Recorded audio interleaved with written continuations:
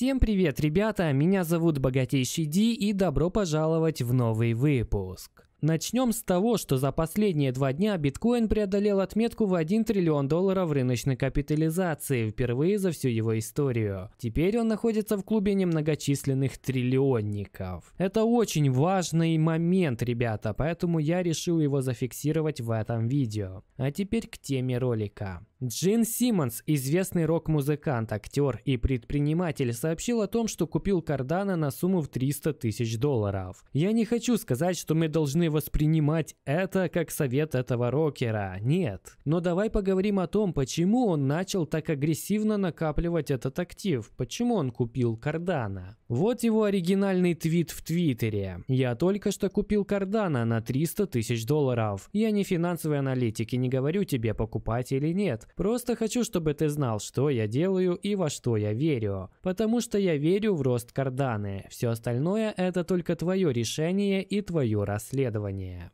Если что, ребята, у него почти миллион подписчиков. Это очень известный человек. Интересно не только это, но и то, что он объяснил, почему он думает, что Кардана вырастет, почему он купил Кардана. Но впоследствии почему-то удалил свои объяснения из Твиттера. Что ж, это интернет, здесь ничего не исчезает бесследно. Скриншот с ответом на вопрос, почему он купил Кардана, легко находится на просторах всемирной паутины. Сожалению, качество так себе, но тем не менее. Почему я купил Кардана? Что ж, во-первых, ее может позволить себе практически каждый. Она стоит копейки по сравнению с другими моими активами, такими как биткоин, который стоит более 50 тысяч долларов за монету. Я верю, каждый должен иметь возможность позволить себе криптовалюту. И Кардана это одна из тех криптов, в которую я верю. На самом деле, как бы я ни поддерживал стремление этого человека человека продвинуть Кардана, я не совсем с этим согласен. Если ты новичок в этом криптомире, тебе может показаться, что в этих словах есть правда. Но если ты сравниваешь разные криптовалюты, основываясь только на их курсе, то ты точно не понимаешь, как это работает. Как бы так объяснить попроще? Давай представим, что биткоин это американский доллар, и он выглядит как миллион долларов одной купюрой. А вот, например, Polkadot, я ничего против Polkadot не имею, если что, это иранский реал, который выглядит как несколько центов. И ты говоришь, я не могу позволить себе купюру в 1 миллион долларов, вот я лучше куплю иранских центов. Как-то так это и выглядит, когда ты выбираешь криптовалюту по ее цене. Гораздо логичнее сравнивать крипту не по курсу, а по ее рыночной капитализации. Рыночная капитализация помогает понять общий целевой рынок для конкретной криптовалюты, общий размер целевого рынка. Биткоин только что достиг триллиона долларов, к примеру. Рыночная капитализация – это умножение цены монеты на количество монет в циркуляции. Что это значит? Когда человек видит 50 тысяч долларов за биткоин, ему кажется, что биткоину будет очень сложно вырасти до 500 тысяч долларов. Но если посмотреть на рыночную капитализацию биткоина – 1 триллион долларов, и сравнить ее с рыночной капитализацией золота – 10 триллионов долларов, то становится очевидно, что биткоин вполне себе может сделать еще 10 иксов с момента, в котором он сейчас находится. Это уже совсем не кажется фантастикой, если мы сравниваем рыночные капитализации. Понимаешь, к чему я веду? Все дело именно в капитализации, а не в цене. Теперь я хочу коснуться темы пиков. Как говорят некоторые, нельзя покупать на хаях, а дальше продолжать не буду, потому что там не цензура. И я это поддерживаю, но давай копнем этот вопрос поглубже. А как ты узнаешь, находится ли криптовалюта на хаях? Вот, например, Cardano. Вот это хай или нет?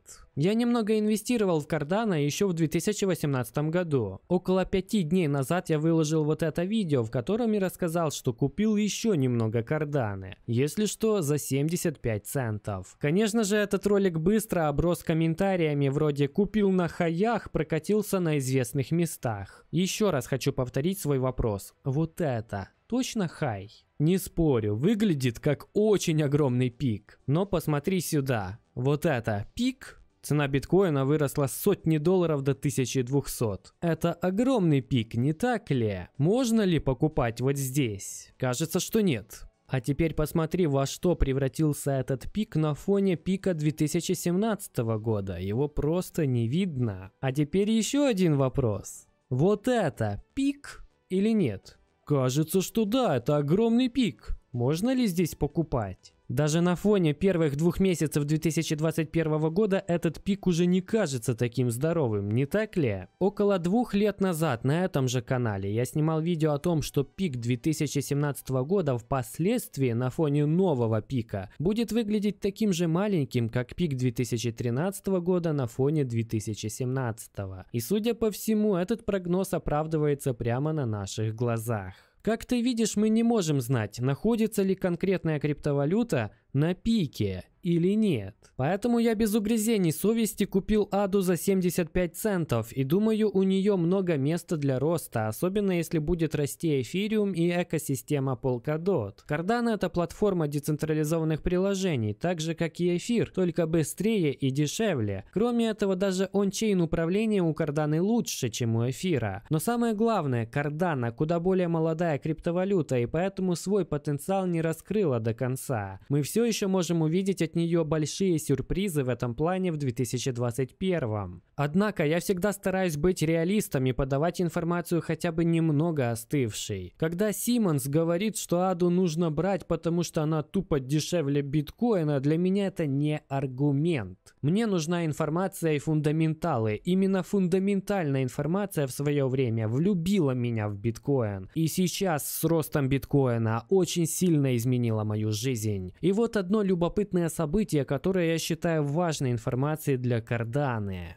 Кто-то только что открыл 14 пулов с 32 миллионами ады в каждом. Очень интересно, что одна организация только что создала 14 новых пулов на общую сумму 448 миллионов ады. Все они сделаны по одному адресу. Кто-то потратил 403 миллиона долларов, чтобы обеспечить крупную позицию в Кардане. Лично мое предположение, что это скорее всего какая-то биржа занимается стейкингом Карданы. Это хорошо, потому что, во-первых, создает пассивный доход для биржи, во-вторых, во-вторых, делает сеть Cardano более защищенной, и в-третьих, уменьшает предложение монет Cardano на рынке. Кроме этого, я хочу обратить внимание на стремительный рост подписчиков Cardano на Reddit. Мы растем даже быстрее, чем в 2017 году. Интересно, как крупные игроки, как известные люди покупают Cardano и видят в ней какую-то свою ценность. Вывод, который мы делаем из этого. Крупные игроки прямо сейчас пытаются искать следующий дешевый альткоин, который покажет огромный рост. Так сказать, второй новый биткоин. И видимо Cardano тоже входит в список кандидатов. Я не могу видеть будущее, но что-то мне подсказывает, в этом году Cardano покажет себя очень хорошо. И возможно это будет последний шанс, когда ее можно купить за 70 центов, 80 центов или даже 1 доллар.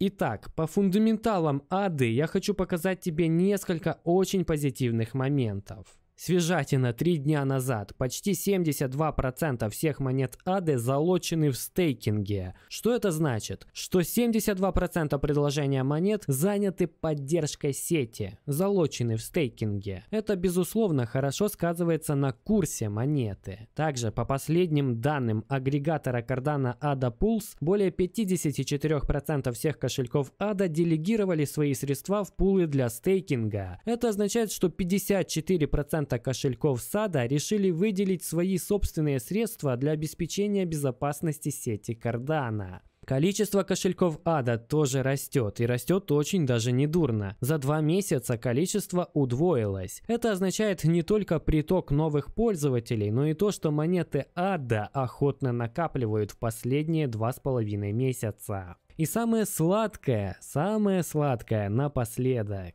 Вот это то, что я называю десерт. Среднее количество монет ада на делегированный кошелек. Этот график с декабря упал в два раза. Что это значит? Это означает, что накапливать аду становится все сложнее. Что безусловно означает, что спрос растет, а предложение либо не растет, либо и вовсе падает. Это приводит к дефициту ады, и соответственно ее цена растет. Кроме этого, сама сеть становится все более децентрализованной. Итак, как мы видим, фундаменталы говорят о том, что 2021 год для Адды будет просто отличный. Напиши, что ты думаешь по этому поводу. Держишь ли ты кардану в своем портфеле или может быть планируешь ее держать? Мне будет интересно узнать, сколько людей из моих зрителей действительно держат Адду. А также подписывайся на канал, ставь лайк, если видео тебе понравилось или было полезным, делись видео с друзьями, комментируй и обязательно, что делай? Правильно, богатей. До скорого.